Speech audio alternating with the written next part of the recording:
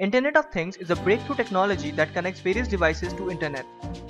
In this course, you will build an IoT-based smart irrigation system that turns on the pump and supplies water whenever the moisture content in the soil goes below a certain threshold. Thereby, you can provide the right amount of water to the plant and reduce wastage of water and electricity.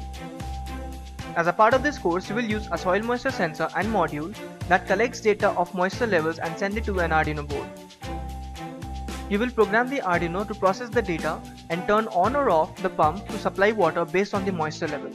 You will then use the ThingSpeak IoT Analytics platform to analyze the data and show results in visual format.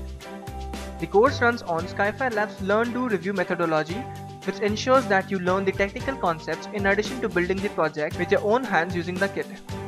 You will not only build the project with a definite output, but also learn the concept and attend interview with confidence using the certificate you earn as a part of the course.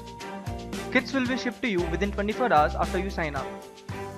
You can enroll for this course online or join any of our classroom programs.